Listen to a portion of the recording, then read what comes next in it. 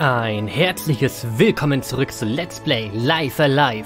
Wir spielen heute das nächste Kapitel, nachdem wir im letzten Part das, die Uhrzeit abgeschlossen haben. Und zwar geht's in das kaiserliche China. Ein alter chinesischer, Chines, chinesischer Meister des Kung Fu möchte vor seinem Tod seine Kampfkunst an jüngere Generationen weitergeben. Er verlässt sein Zuhause auf dem Berg des Strebens, um einen würdigen Erben für sein Vermächtnis zu finden. Er findet drei Schüler, die nun schonungslos trainieren, um ihre Körper zu stehlen, Reflexe zu verbessern und ihr wahres Potenzial zu entfalten. Wer von ihnen wird der Herausforderung trotzen und der nächste Meister werden? Das wissen wir nicht. Das werden wir erfahren, indem wir das Kapitel starten. Das kaiserliche China. Dieses Kapitel spielen? Ja.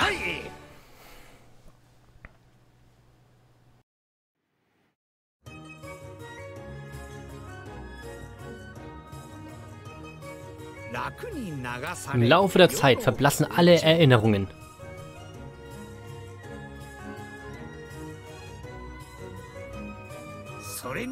Nichtsdestotrotz nimmt ein alter Mann alle Mühen auf sich, um sein Vermächtnis an künftige Generationen weiterzugeben.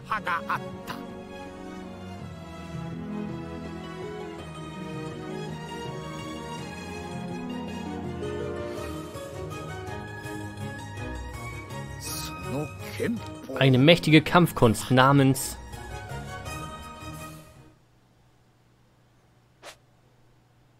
Erdherz Shifu. Ja, reicht so, geht so, ne? Erdherz Shifu. Möchtest du mit diesem Namen fortfahren? Ja.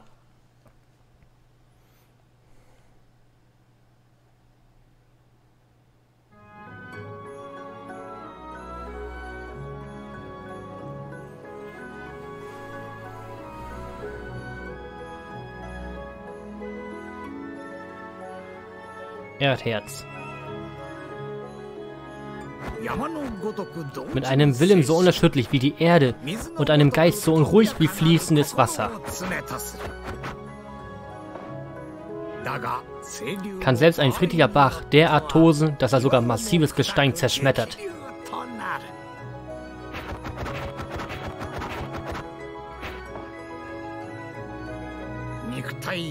Den Geist zu kontrollieren und über körperliche Stärke hinauszuwachsen, um nach etwas zu streben, das größer ist als man selbst. Das lehrte sein Kung Fu.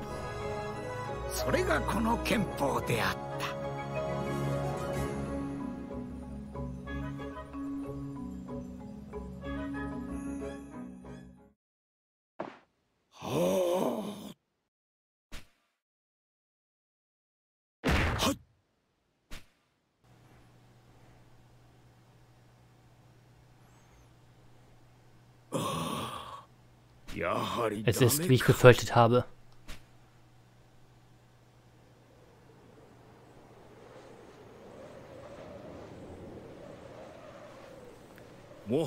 Die Zeit rennt mir davon.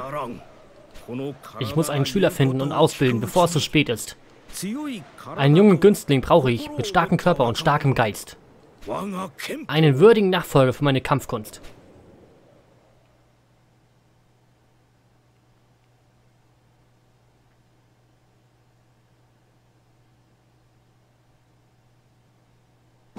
Das kaiserliche China, die Nachfolge.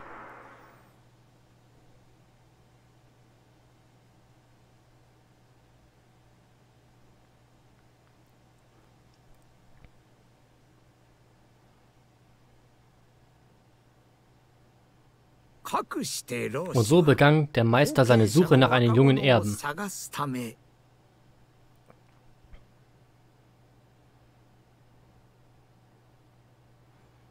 Es ist lange her, seit er sich das letzte Mal aus den Bergen ins Flachland hinunterwagte.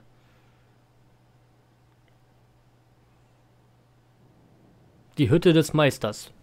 Jo, wir, wir sind ein alter Mann. Aber hey, wir können Kung Fu. Hm, das ist doch ein paar Quilin-Stiefel. Was haben wir da? Ein paar wettergegerbte Stiefel. Sonst Vorhang? Oh. Oh, Moment. Hier ist nichts, ne? Ich muss niesen. Ich hab genießt. Was haben wir hier noch? Da ist nix. Ein Brötchen mit Schweinefleisch. Noch ein Brötchen mit Schweinefleisch. Wettergegerbtes Gew Gewandset. Noch ein wettergegerbtes Gewandset. Brötchen mit roten Bohnen. Und da ist nichts drin. Gut, gehen wir mal ins Menü.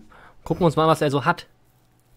Ja, Stufe, er ist schon von Anfang an Stufe 10. Das ist schon ziemlich heftig. So, Inventar. Mhm. Ausrüstung erstmal. So, ich denke mal, das reicht so.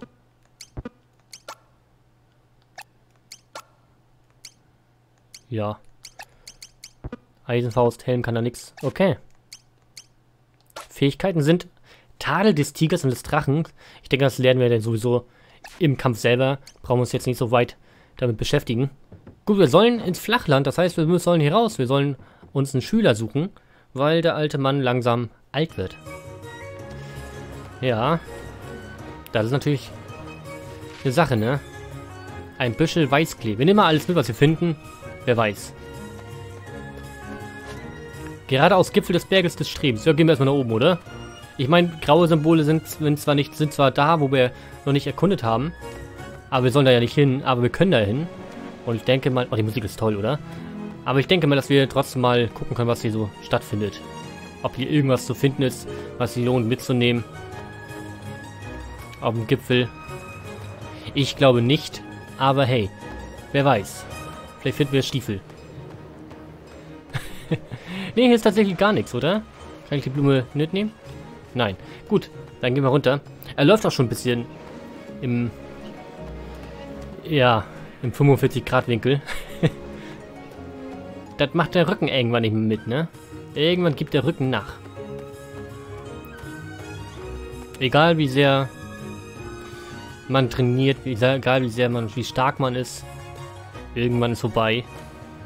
Da nimmt, das nimmt den Besten mit. Ein Büschel persischer Ehrenpreis. Ehrenpreis? Was solle?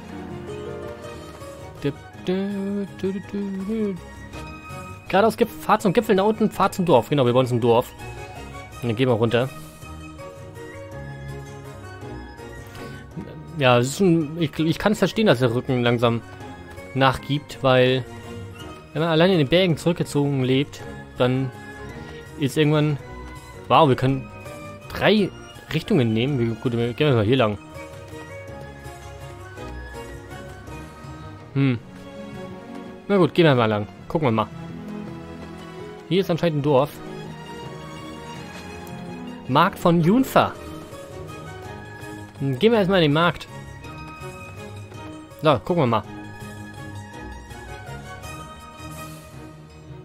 Oh, endlich mal richtig Zivilisation. Nicht so wie in, in den letzten Kapiteln, im ersten, was wir gespielt haben. Euer letzter Besuch ist eine Weile her, Meister. Meister, ihr seid zurückgekehrt. Es tut so gut, euch zu sehen. Und sie können sprechen. Dieser Krobian treibt sich seit kurzem hier herum, macht Ärger. Erzähl mir mehr. Der Meister, so wahr ich hier stehe, vergibt meinen Mangel an Gastfreundlichkeit, aber Essen ist heutzutage so rar wie Gold. Macht nichts hier, sind überall Äpfel und Gemüse und Obst. Nehme ich gerne.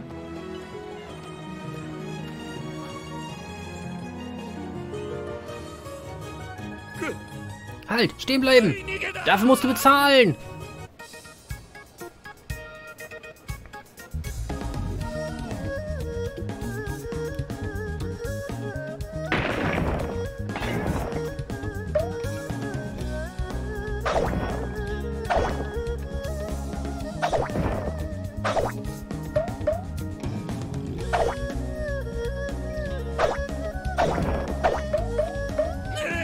Schnell, halte ihn auf!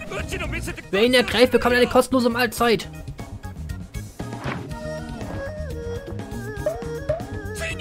Aha, habe ich dich. Endlich. Gib mir, was du mir schuldest, und zwar sofort. Das kann ich nicht. Ich habe kein Geld. Ach ja, da müssen wir einen anderen Weg finden, um das zu regeln. Aber er hat schon Reflexe, muss man lassen.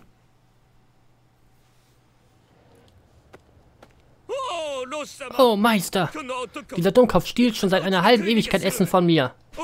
In Alleingang hat er mein Geschäft an den Rand des Ruins getrieben. Lehrt diesen Lumpen eine Lektion. Gut, ich knüpfe mir den Burschen vor. Halt! Bitte! Bitte nicht! Nee, Bestrafung muss sein. Tut mir leid, aber das muss so sein. Hong, Hong Hacker heißt er. Was können wir denn? Okay, ja, mhm. Dann greifen wir mal mit Tadel des Tigers und Drachen. Tadeln wir immer. Er hat mehr Leben als ich, wahrscheinlich durch seine, ne, ihr wisst Bescheid, durch seine Wampe. Hält er mehr aus.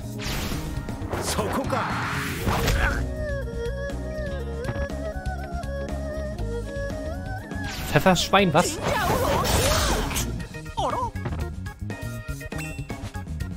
Okay. Gering, gering, mittel, gering. Anmut des weißen Fuchses. Wow. Gleich nochmal. Das ist stark.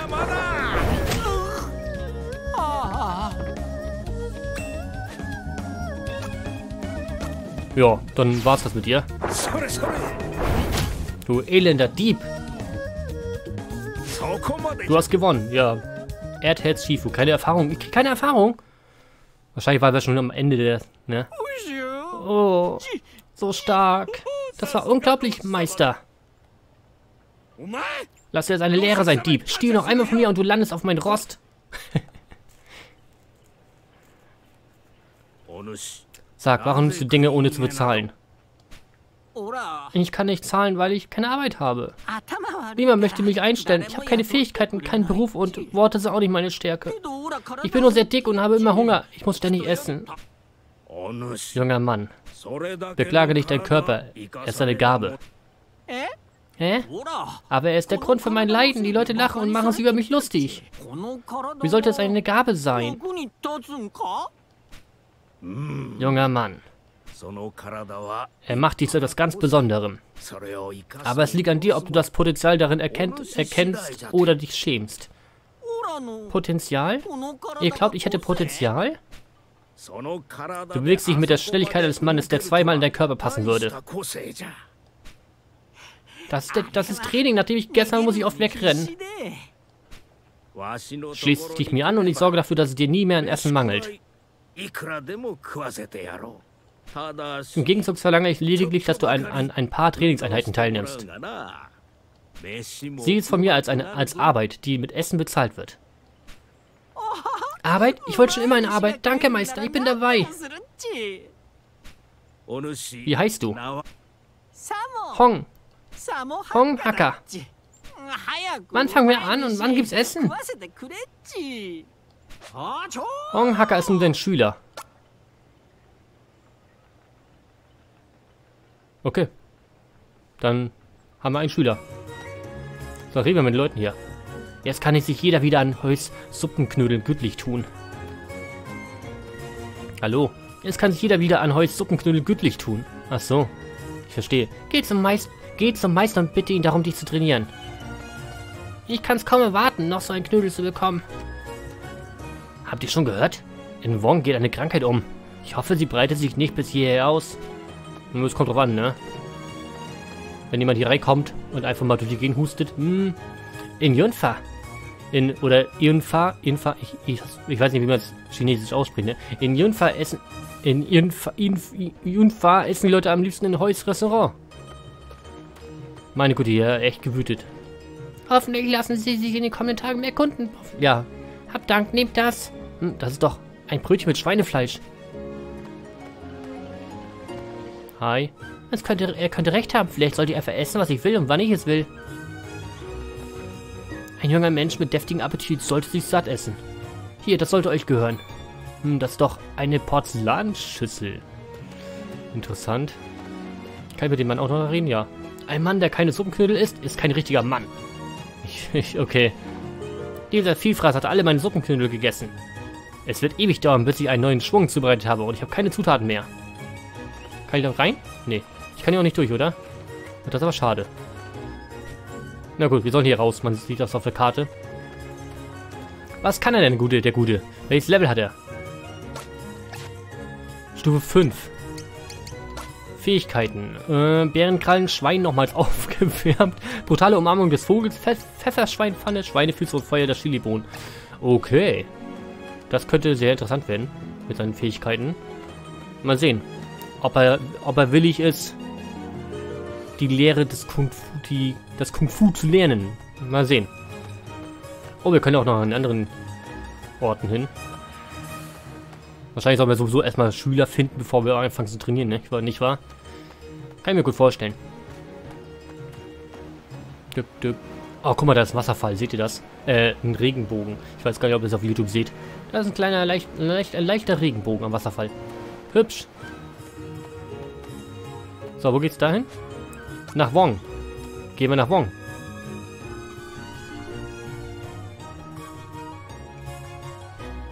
Was ist hier? Was geht hier? Was geht hier? Was geht hier ab? Seid vorsichtig, Reisender. Hier geht eine Krankheit um, die einen alten Mann wie euch ohne Zweifel schlimme Bauchschmerzen bereiten würde. Hoffen wir, hoffen wir nicht. Hallo, gut, gute, gute Dame. Es heißt, Banditen würden versuchen, diese Krankheit zu ihrem Vorteil zu nutzen. Das sind nicht nett, du. Uh, uh. Ach, ich kann was kaufen, oder was?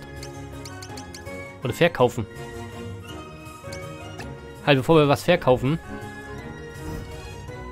würde ich gerne bei Ihnen die Ausrüstung checken. So. Ja, uh. wenn es Bauchschmerzen sind, dann... Nein, das wird nicht gehen. Ach, wir sollen ihn heilen. Dann essen Brötchen mit roten Bohnen. Nicht?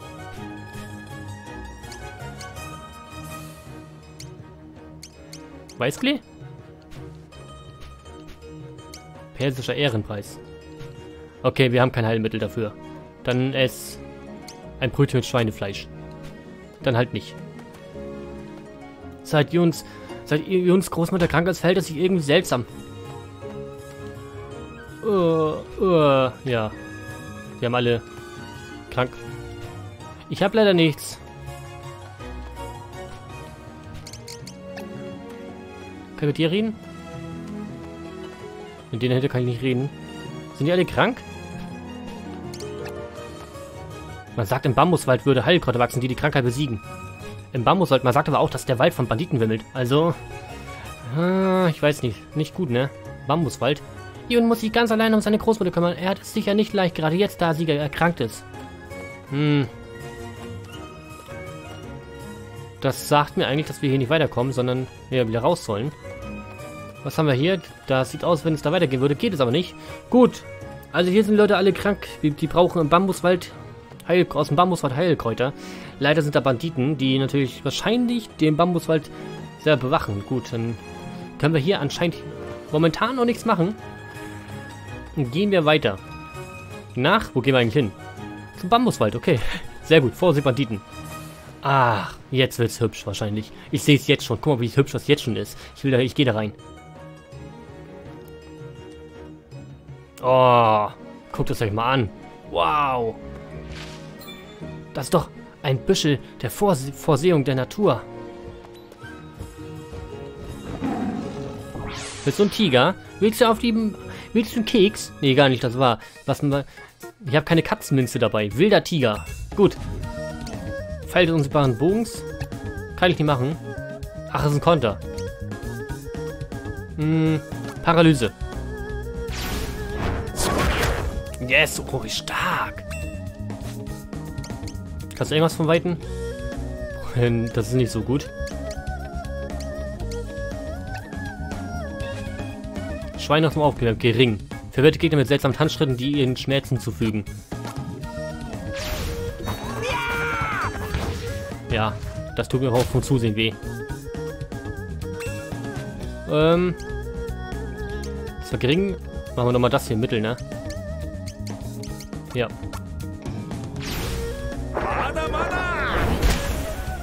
Weg mit dem Tiger, der Arme. der Ärmste.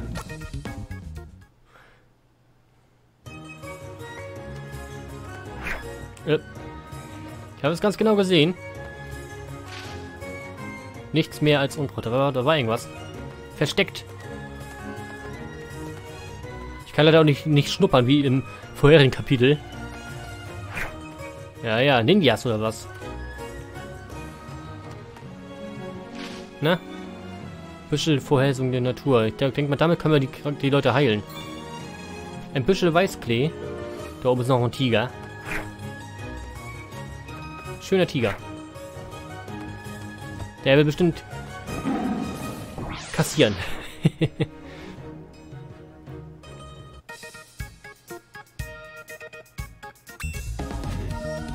ähm.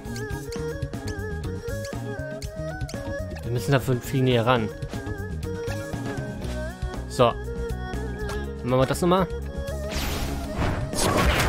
Der, der Typ ist so richtig stark. So, machen wir mal, machen wir Pfefferschweinpfanne, oder? Oder Schweinefüße. Wir Schweinefüße. Zeig mal her, wie sieht das aus?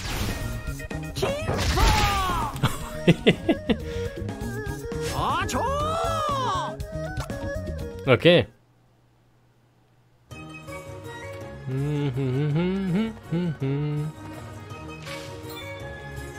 Sehr gut. Vielleicht können wir damit das ganze Dorf heilen, wenn wir alles gefunden haben. Da oben ist noch ein Tiger. Nicht so schnell. Ein alter Kauz sollte weise genug sein, nicht alleine weiter herumzuirren. Gib mir dein Geld, schnell, sonst setzt was. Ich fürchte, ich hab nichts für dich. Wie war das? Ich sagte, ich habe nichts. Nun, nichts, worin du einen Wert sehen würdest. Ach ja, glaub ja nicht, dass ich deine müden Knochen schonen werde. Wenn ich mir recht überlege, wird dein langes Leben heute enden.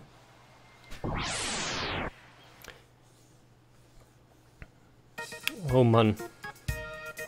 Lei Kugo. Hm. Das ist halt weit, das ist Machen wir das hier. Entzückungsstreifhörnchen. Paralyse. Oh oh. Mhm.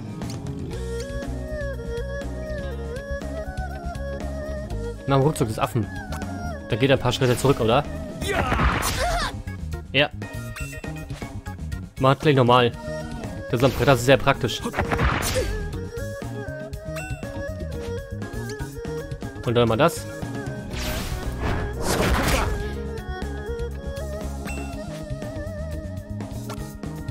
Äh. Halt. So.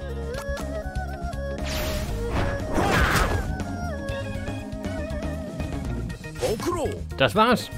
Tut mir leid für dich, aber so ist das Leben, ne? Wie konnte das passieren?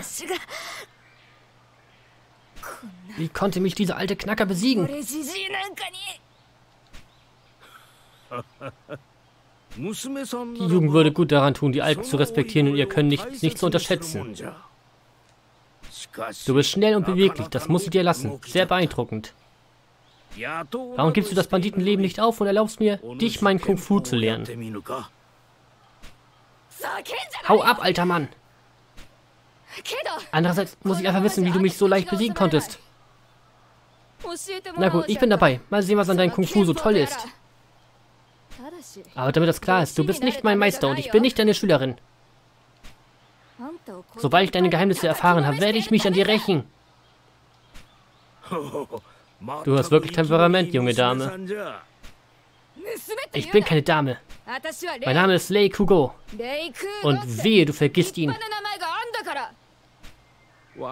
Sei versichert, dass ich ihn nicht vergessen werde. Es ist ein guter und starker Name, auf den man stolz sein kann. Aber Stolz kann einen auf die schiefe Bahn führen, wenn man es zulässt. Die sollte das nichts Neues sein. Die sollte das... Dir sollte das nichts Neues sein. Immer ein schlagfertige Antwort parat, was?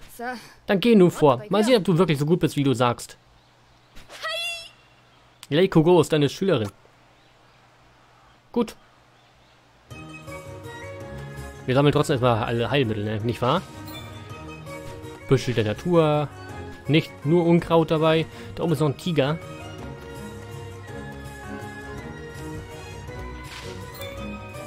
So. Büschel Hirten, was auch immer. Kehrt um, wenn euch euer Leben lieb ist. ja, mein Leben ist mir lieb, ne? Und macht immer keine Sorgen, wir kennen schon um. So, machen wir das hier Paralyse. Was kann sie denn? Ja, erstmal muss ich so ihn austesten. Ja. Kauen. Er kann kauen. Und trifft nicht mal. Mach mal hier äh, Feuer. Nee, Bärenkrallen. Ich würde gerne probieren, was sie kann.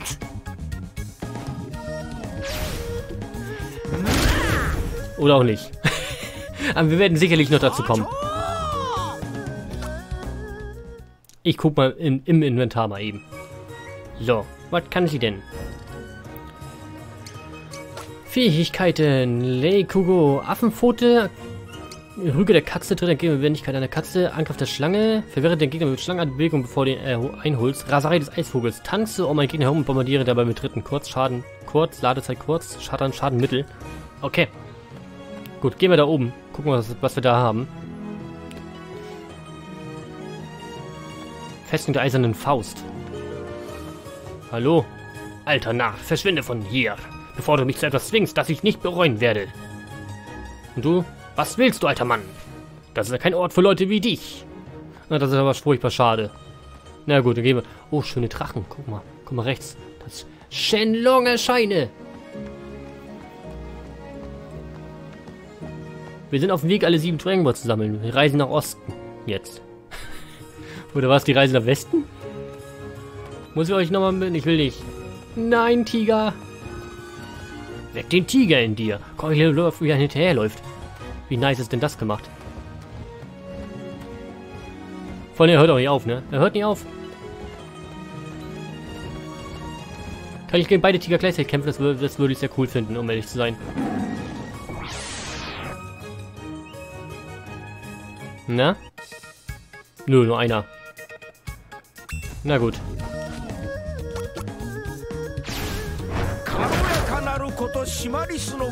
Genau. Na, triffst du diesmal? Nö. Wir sind halt, wir sind halt zu King.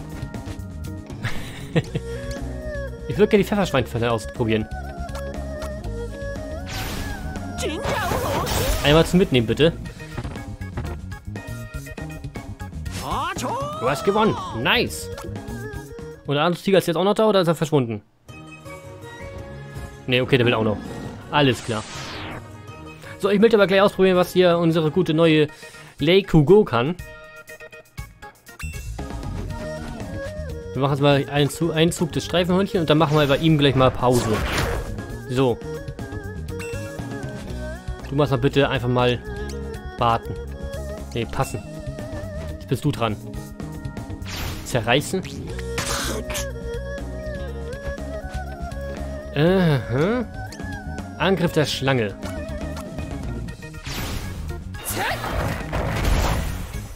Sehr cool.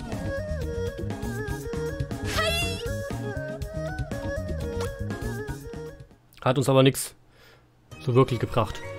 Die ganzen Gegner hier bringen halt kaum Erfahrungspunkte, ne? Ist halt echt so was. Das bringt, man kann da eigentlich vorbeilaufen und es würde keinen Unterschied machen. Naja. Ich denke, wir haben den Wald auch komplett leer geplündert.